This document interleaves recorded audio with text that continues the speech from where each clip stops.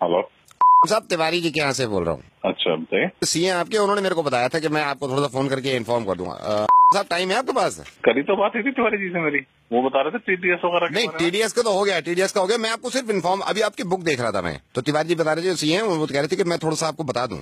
जी जी बताइए। क्योंकि वो ऐसा है ना टैक्स वैक्स का फिर काम फिर लटक जाता नहीं सर नहीं बताइए थर्टी परसेंट टैक्स ये तो पे कर दिया सर हमने आपका। ठीक है सर जी जी। टेन परसेंट टीडीएस भी आपका तिवारी जी ने कहा था टीडीएस हाँ तो ये तो पता ही मेरे को बता दिया उन्होंने। इसके दो ना फ़ायदे बता रहा था इसको मैं आपके। तो सर थर्टी परसेंट जो टैक्स कटा है आपका क्योंकि सर आपका स्लैब जो है वो बारह लाख से ऊपर है। हम्म हम्म। तो थर्टी परसेंट टैक्स कटने का फ़ायदा ये है सर कम से कम कल को इनकम टैक्स का डंडा तो नहीं होगा। और जो सही है ये टेन परसेंट टीडीएस भी आपने इसलिए काटा कि कल को आपको कोई प्रॉब्लम ना हो। ठीक है। है ना? तो सर ये दो फ़ायदे हो गए। मतलब इनकम टैक्स के डंडे से बच गए। दूसरा ये टीडीएस के भी डंडे से बच गए। क्या कहना चाह रहे हो? ये तो मुझे भी पता है। नहीं मैं मैं नहीं नहीं नहीं, कम से कम इस ज़िम्मेदारी से बच गए ना। क्या कह रहे हो यार? सर मैं ये कह रहा हूँ ये देने के बाद आपके ऊपर से ज़िम्मेदारी हट गई आप कल को पागल है कि एक ही बात थर्टी परसेंट को पकड़ लिया तूने? मेरे को पता नहीं है ये बात। ये तो पता है सर आपको। तो? थर्टी परसेंट टैक्स दे दिया तो इनकम टैक्स का दंड आप पे नहीं पड़ेगा। आपकी ज़िम्मेदारी खत्म। आप बुरा मत मानिए। सर लेकिन इनका दंड पड़ गया ये क्या होगा फिर? यार रोज़े रमज़ान में गाड़ियाँ दिलवाएगा क्या रह गया? सर ये क्या? Sir two point five percent जक़ात। है? टू पॉइंट फाइव परसेंट जक़ात। साहब मैं माजरत चाहूँगा कि रोज़े में मैं आपको ज़्यादा बुलवा रहा हूँ लेकिन ये तीस परसेंट टैक्स दे दिया आपने जो कि बहुत अच्छी बात है क्योंकि एक उसूल है हिंदुस्तान का कि आप अगर बारह लाख से ज़्यादा कमाते हैं तो तीस परसेंट टैक्स देंगे। और देने के बाद मुतमिन हो जाते हैं इस बात से कि अब कोई ज़िम्मेदारी आपकी नहीं है ना ही किसी चीज़ की पेनल्टी पड़ेगी। टीडीएस दे देते हैं, आप दस परसेंट साहब two point five percent two point five percent, वो भी आपकी इनकम पे नहीं, आपकी सेविंग पे सिर्फ़ ढाई परसेंट जक़ात, जो कि आप नहीं देते हैं।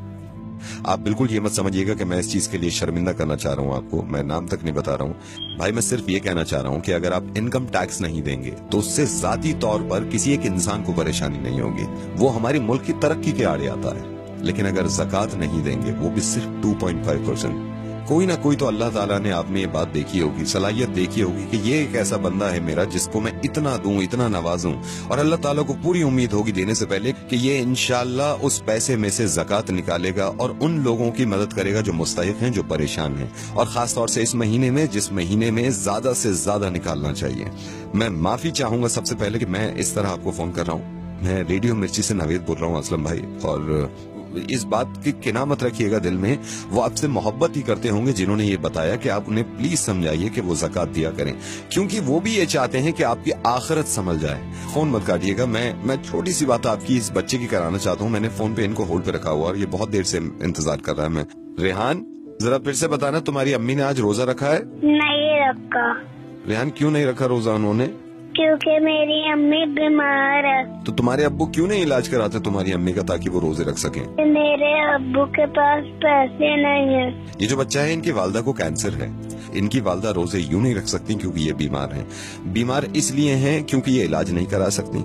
इलाज ये इसलिए नहीं करा रही क्योंकि इनके पास पैसे नहीं है। पैसे इसलिए नहीं है इनके पास भाई क्योंकि हम जक़ात नहीं देते हैं। बहुत मुमकिन था ये, बहुत मुमकिन था ये कि हम हॉस्पिटल के बाहर अपनी वालदा के साथ बीमार पड़े होते और हम इंतज़ार कर रहे होते कि कोई जक़ात दे।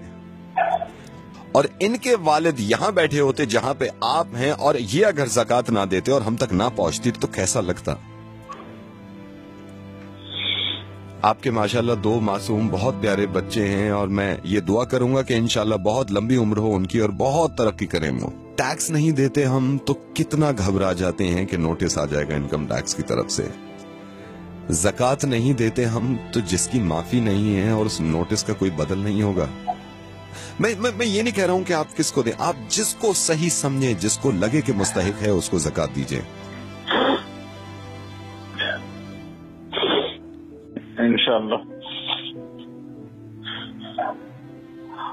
जक़ात ज़रूर दूँगा और इस इस बच्चे को अगर ज़रूरत हो किसी चीज़ की तो मुझे ज़रूरत है इस बच्चे को अब ज़रूरत नहीं है इस बच्चे तक पहुँच गया लेकिन हमारे ही हिंदुस्तान में बहुत सारे बच्चे ऐसे हैं जो इंतज़ार कर रहे हैं हमारी जक़ात का अल्लाह ताला अजर दे आपको इस चीज़ का आपने अपनी ज़िम्मेदारी पूरी करी एक ज़िम्मेदारी आपकी बन जाती है। ये जो आपने सुना है, इस चीज़ को दूसरों तक पहुंचाइएगा और यकीन मानिए इस बात का कि इतने अच्छे कौम में लोग हैं उनके दिल इतने अच्छे हैं, कहीं ना कहीं कहीं ना कहीं वो या तो भूल जाते हैं या थोड़ा सा मिसगाइड हो जाते हैं। इनशाला ज़रूर लोग एक दूसरे की मदद करेंगे और जक़ात निकालेंगे। मैं इनशाला फिर आपसे बात करूँगा। अल्लाह हाफिज।